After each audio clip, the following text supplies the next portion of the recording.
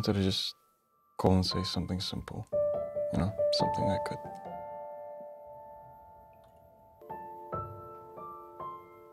I think you'll always be the person I loved most. That room we shared, space we passed through, your tenderness, your warmth.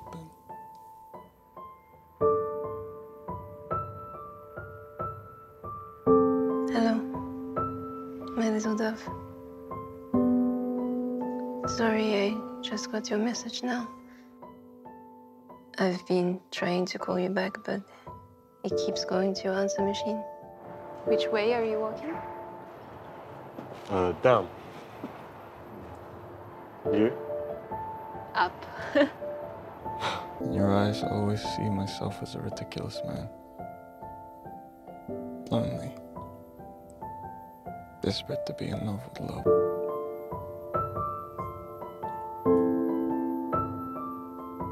I guess I just